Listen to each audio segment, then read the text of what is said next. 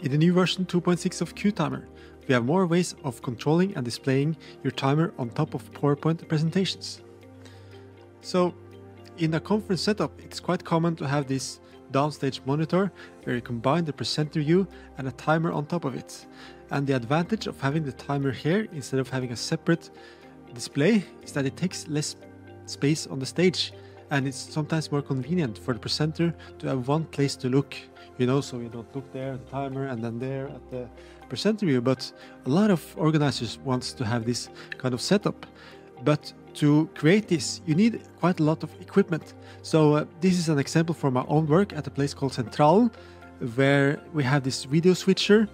And um, in order to set up this timer here in this window i had to use like a hardware switcher here and I put uh, two outputs from my uh, laptop and one output from uh, CueTimer. And then I need to send the program output to the stage.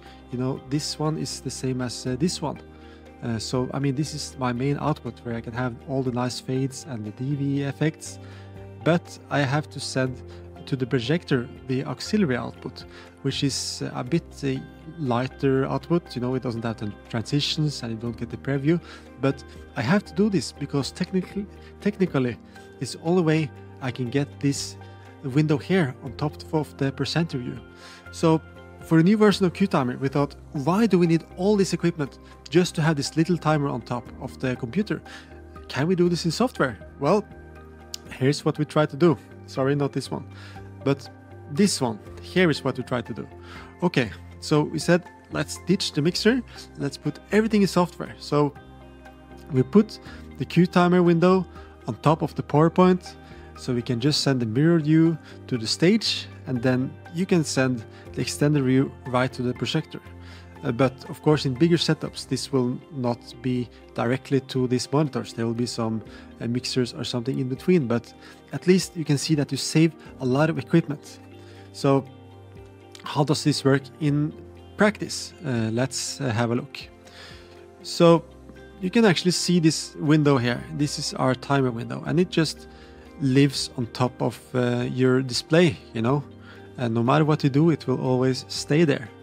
And one thing I really want to showcase is that it doesn't, you know, react to keyboard strokes. So I can just, you know, uh, type in whatever I want and it's not going to interfere, the timer is not going to interfere with whatever you're doing on your computer.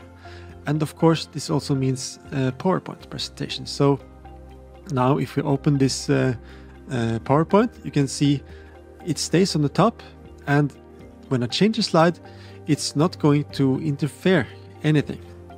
And this, these two qualities of this window is kind of unique for CueTimer. I never seen it anywhere, and it's a requirement for making this a working solution in even very demanding, uh, you know, professional setups for AV, where there's very little room for uh, screw ups. You know, I think you can very safely uh, use this window on top of your PowerPoint without using a video switcher. So how do we control it? Well, you need the companion. You know, you need this uh, Stream Deck here, uh, this bottom here, where I have now controls for most what I need. When you are in the middle of the PowerPoint presentation, you obviously don't have space for a long list of timers and uh, advanced queuing. Instead, you just need to have this one timer that you can uh, restart over and over again. And to accommodate this, we have some new commands that you can see here. So these are, we have two new commands in the new version of CueTimer for Companion. Uh, this is, you can set the duration to a specific duration. So I made this button here that sets the duration to 10 minutes and 20 minutes and 40 and 50, but you know, you can set it to whatever you want. And uh, secondly, we also have new buttons for uh, like, uh, yeah, okay, so you can subtract X minutes. So you can say we have this button that chops away five minutes from the timer, and we have this button that uh, gives you uh, five minutes for your timer. So you have pretty much uh, full control over this timer just from one single companion page. So now you know that you don't need a lot of equipment to have a timer on top of your PowerPoint presentation. But still, I just want to say I don't want to sell all your switches and all your equipment. I think you still very much can use the old setup that I showed you, you know, to have this uh, this kind of setup here with the switcher.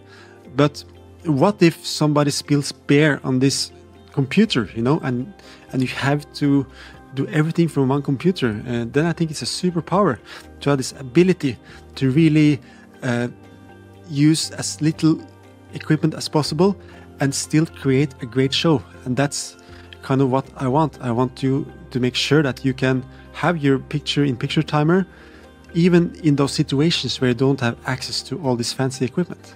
So that's CueTimer 2.6. Take care and see you again soon.